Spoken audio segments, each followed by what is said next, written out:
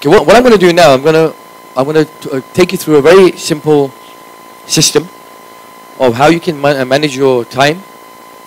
And not time management, but how you can manage your time, your effort, and your money. So the objective is this: there are only three resources you have: time, effort, and money. They're the three resources you own, and they're all limited. Money's not really, and effort isn't, but it's still 24 hours in a day. There's only so much you can do. The question now to ask is how effectively are you using your time? I'm not going to teach you how to manage your time. I'm going to show you how much time you are wasting. I'm going to show you how much money you are wasting. And I'm going to show you how much effort you are wasting. So if you could get more time, more effort, and more money, would that make your life better? Absolutely. For example, I love living in India. One of the biggest reasons is because I have the luxury of having someone working in my house, a cleaner, a cook, and I have great staff in my office that really work really, really hard. In London, I don't have a maid or a cook because in London you don't have maids or cooks. You just don't. I mean, one comes in once a week, does all the cleaning or whatever. But I do my own cleaning. I do. I wash my own car, which I really enjoy doing, by the way, for some reason. I, I wash my own car. I iron my own clothes. If my mum cannot make me breakfast, I make my own breakfast. But when I come to India, it's really cool. I don't have to drive. I don't have to cook. I don't have to clean. I don't even have to go to the bank. It's so brilliant because I get so much time extra in my life that I actually feel really good about being here. One of the one of the biggest reasons. The other reason is the weather. I like the hot weather. I love the sun.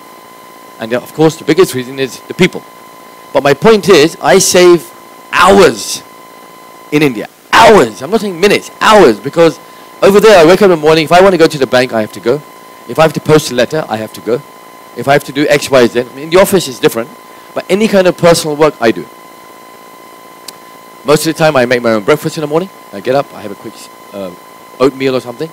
But I make it. I, I, I enjoy doing that. If I, my bedroom, I clean myself. I help my mom clean the house up, if need be. But I do it. But it takes time. And when I drive in London, it's a pain because there's so much traffic. So I can't think about my work or chill out while I'm driving. Because when you're driving, you should be focusing. I put music on, but then it's not the same thing. So I can't listen to my personal development audio programs because you can't concentrate properly. But when I'm in India, I have so much time. And I don't have to put as much effort in here. In terms of money, there's more money in London. Like for a seminar like this or a millionaire blueprint, it would be at least between for one day 40,000 to 1 lakh per person in London. That's what they pay. An NLP program in London is 3,000 pounds, 3 lakhs. It's 35 or 40,000 in India. It's really amazing here. So here, I don't make as much, but I also save a lot of money. Because if I hire a cook in London, he'll probably charge me at least a full-time in-house cook, maybe 1.8 lakhs a month, or at least, if it's a good one. If I get a maid, she'll charge me at least 3,000 rupees an hour, at least, to come in and work. Which is cool, I can do that. But here I save a lot of money too. Property is really expensive here compared to London. The apartment I live in would be half the price in London compared to what I pay here. So that's a little bit of a headache. But it's also great because when I bought it, it was 3,000 rupees a square feet. Now it's 26,000. So I'm really happy because I would never have made that in London in my property.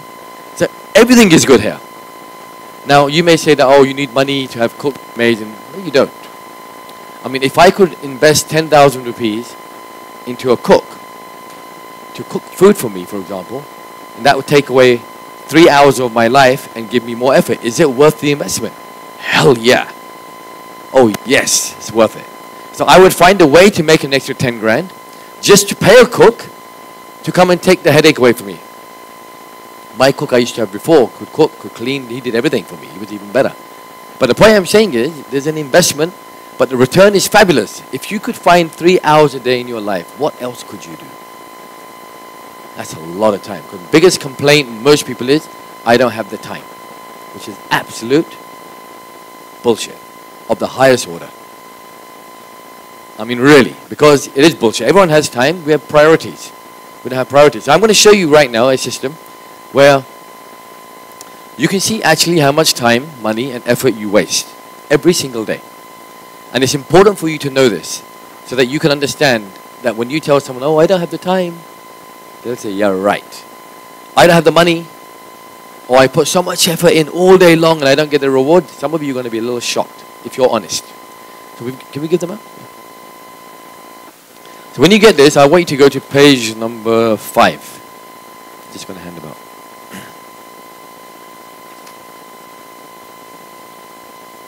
And please don't rush through it. Just go with the pages that I tell you. Please don't rush through it. People do that. Some people go through the whole manual and say, oh, I filled it in. Don't do that.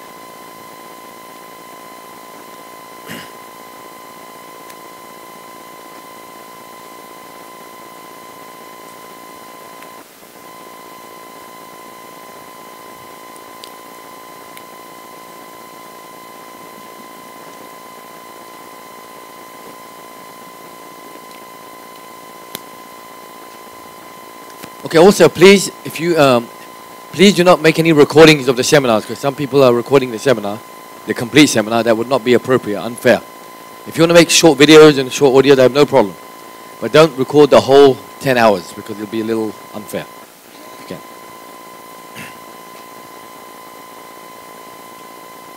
Okay, just go to page number five.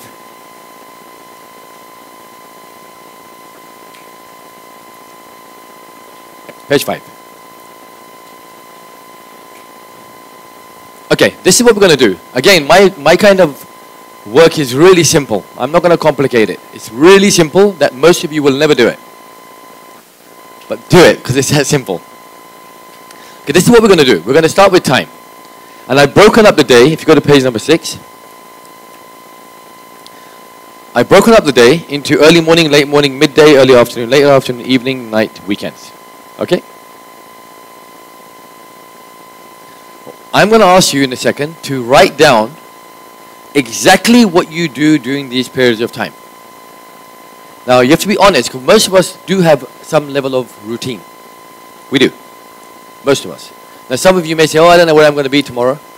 But if you don't know where you're going to be, you know you're going to be somewhere. That means you'll be traveling. But we do have some kind of routine. If you ask me today, can you predict what you're going to be doing over the next four or five days? I could. Pretty easy. I know my average. So it doesn't have to be perfect, but you know that the things that you know you, you do every single day. So early morning would mean what? From the time you rise until, say, 10 o'clock. Mid -mo late morning would be from 10 o'clock till midday.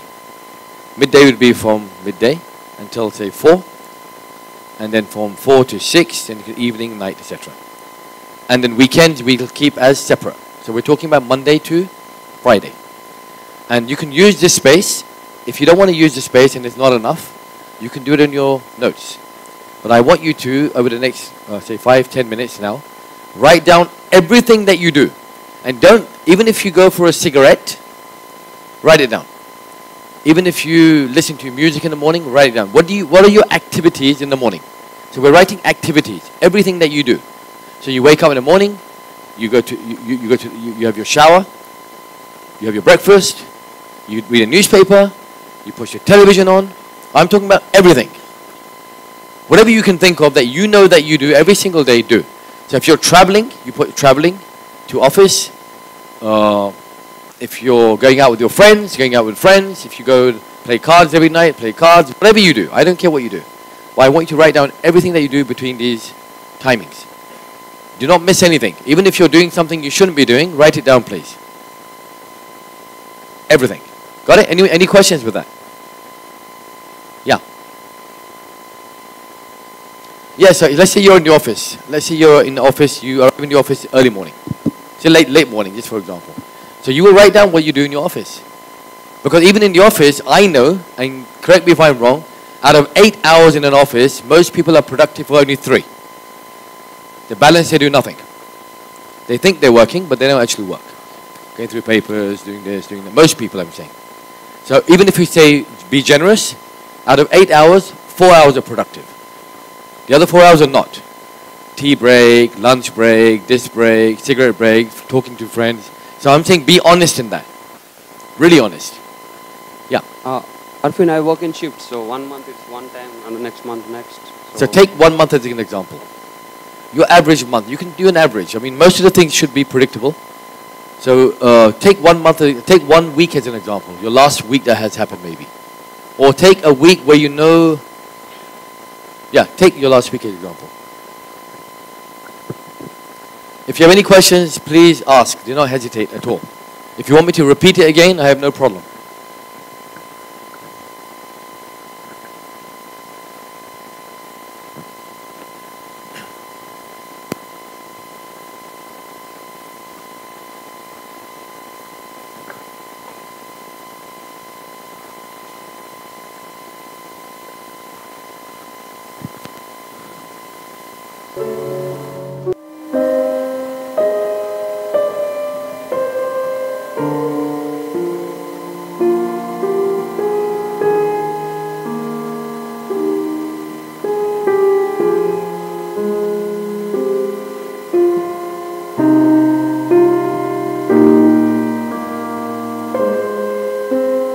Many of you, how many of you have completed? Wow. How many of you are not? You can carry on and I'll carry on.